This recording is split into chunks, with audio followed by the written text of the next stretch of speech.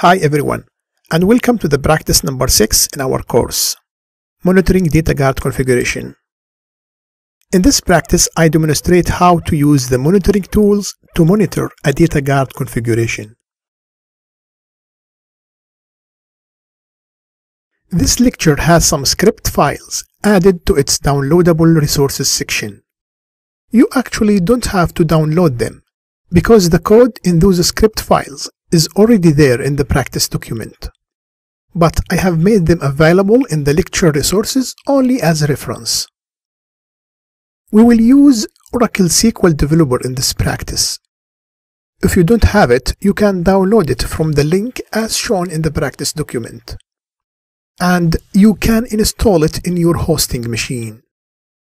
If you haven't worked with SQL Developer before, you can skip it and run the practice commands in SQL Plus session instead.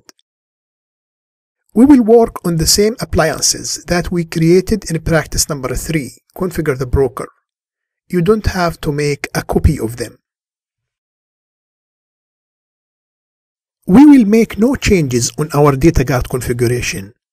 The specifications are the same as the specifications of the data guard configuration that we configured in practice number 3.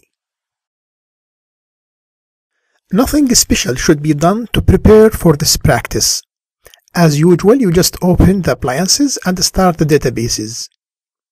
In this practice, I will simulate some workload on the primary database. I will also simulate an outage of the apply process in the standby database. And then I will study how this will affect the output of the data guard monitoring tools. To get the environment ready, you just need to open the two appliances in the folder Practice 3 Configure the Broker. Start the appliances and start their databases. As in the previous practice, I already opened the appliances, created two PuTTY sessions to connect to them, and started their databases. I will start the DGMGRL utility now, verify the broker is enabled, and start the apply process.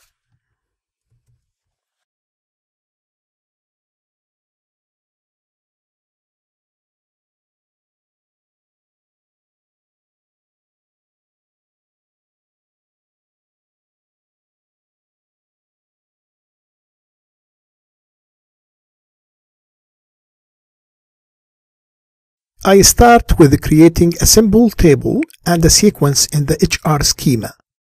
We will use them in our testing code.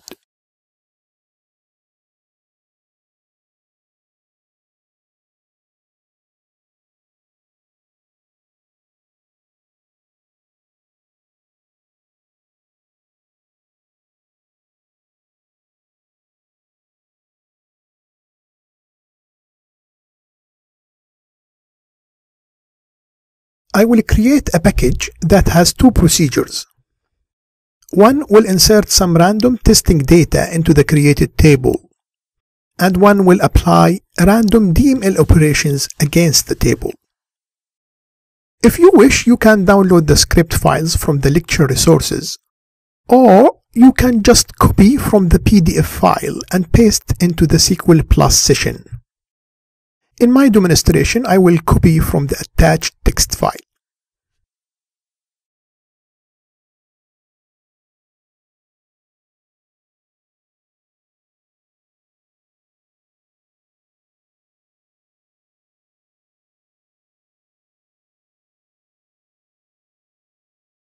I will use the insert names procedure to insert 10,000 sample data into the names table.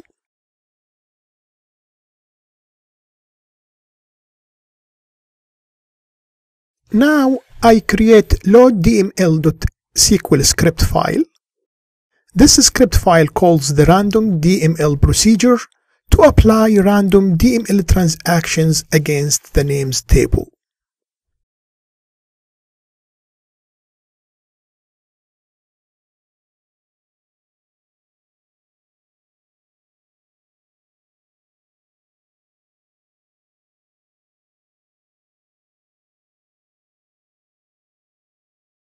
I will create loaddml shell script file.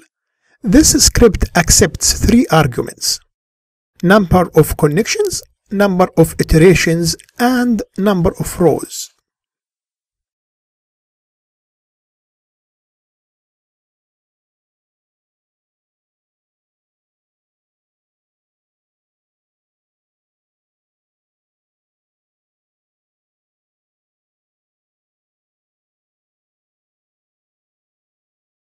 I will now test the script that we created. I will create 5 SQL Plus sessions. Each session will execute 2000 iterations and the DML transactions will select randomly from the total number of rows in the table.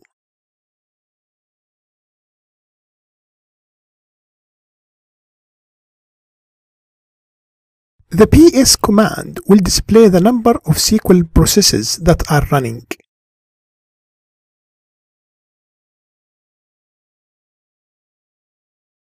The ps command displays 1 because the SQL sessions have already finished before I ran the command.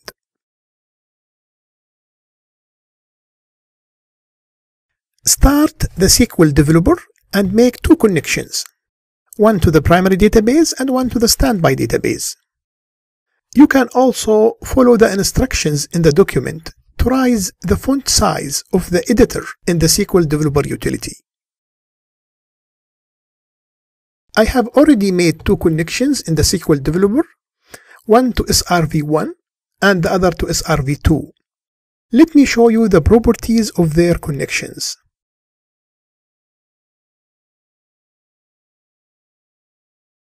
As you see, I used the basic connection type and defined the required information to connect to the primary database. I will now make connections to the two databases.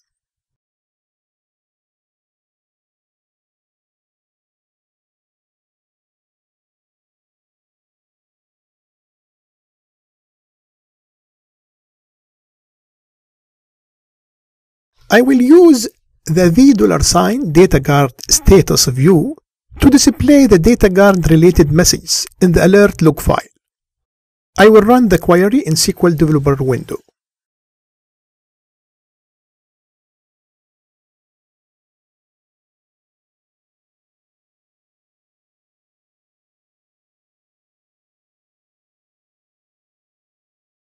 You can see in the output all the data guard related messages in the primary database.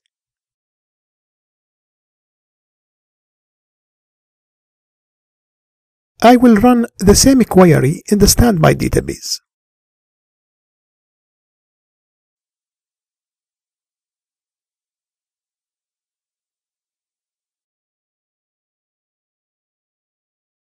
In the next step, I will check if there is any redo log gap this query should be run in the standby database. As everything is running normally, we don't expect to see any gap at this stage.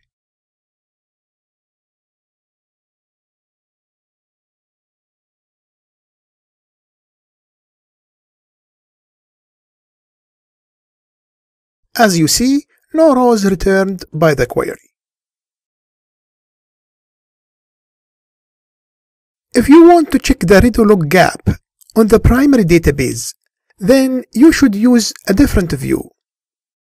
You get the maximum sequence number colon from the v sign archived log view and compare it to the archived sequence number colon in the archived destination status view as shown in the document.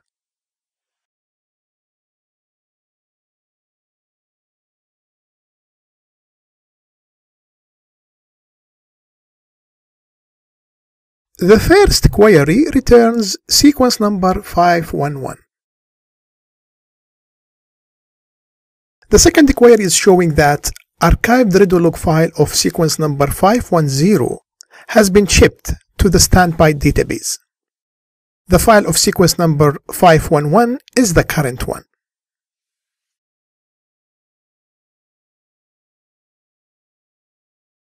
Let's examine the transport and apply lag statistics in the standby database.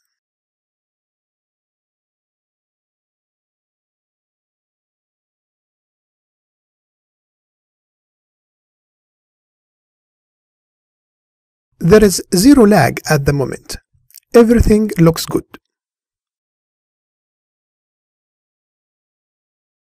Let's stop the apply process and see how this will affect the lag figures.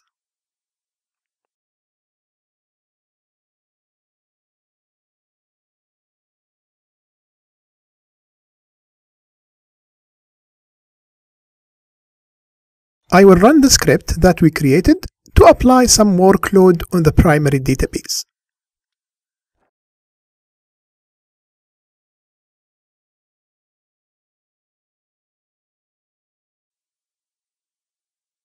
Let's see the gap statistics now.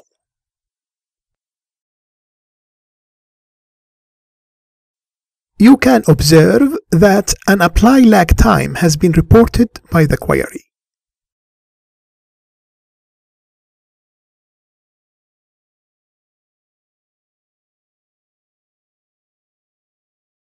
Let's see what the broker will report about the apply lag. I will run the show database command in the dgmgrl utility.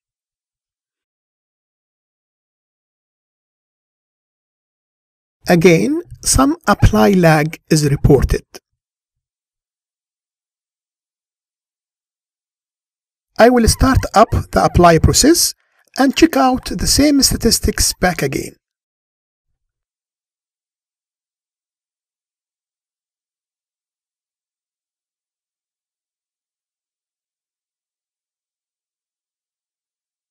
As you see, the lag is gone now.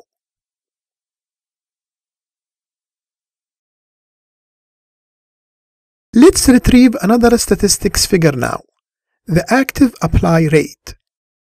I will run the query as shown in the document in the standby database.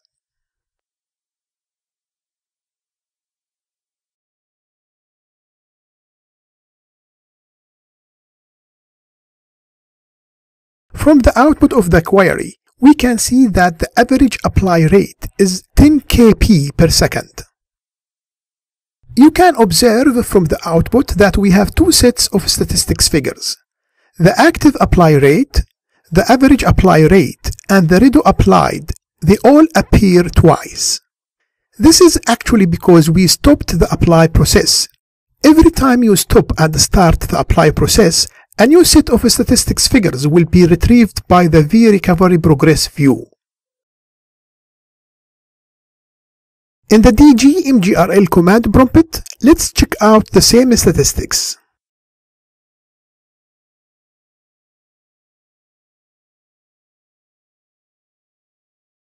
The average apply rate is displayed in the dgmgrl, and it is 9 kilobyte per second. I don't have any clue why it is different than the figure reported by the V-Recovery Progress view. If you have any idea about the reason, please let me know.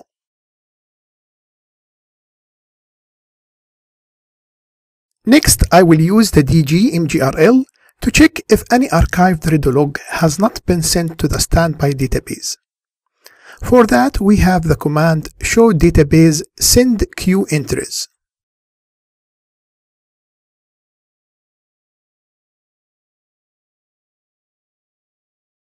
If the status colon value is current, this means the current online redo log file is being read and therefore all the archived log files have been sent.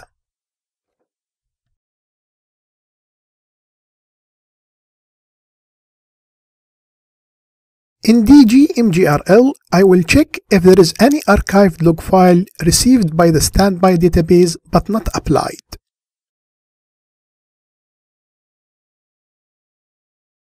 Nothing is displayed, which means all the received redo log files have been applied.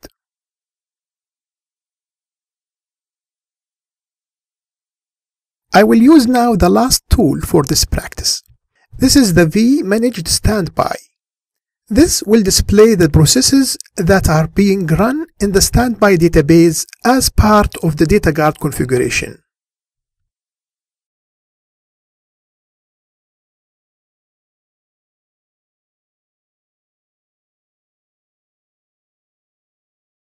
You need to run this in the standby database.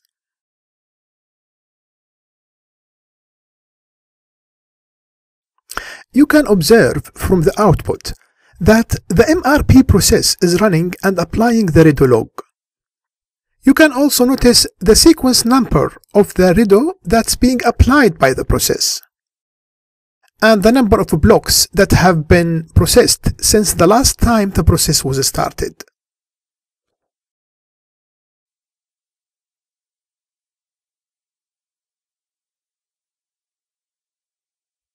We have examined the tools that will help you to monitor the data guard configuration. Those tools will be your weapons in your fight against the data guard issues.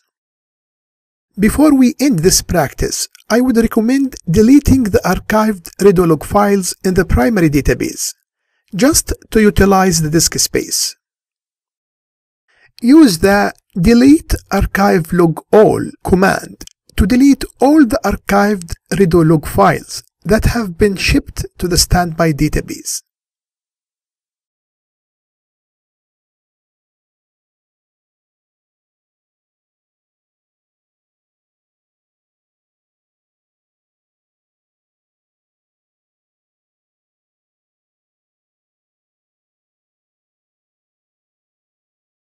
Nothing special about shutting down the system in this practice. You just follow the same procedure to shut down the databases and the systems. Thanks for staying with me in this practice and see you in the next lecture. Bye for now.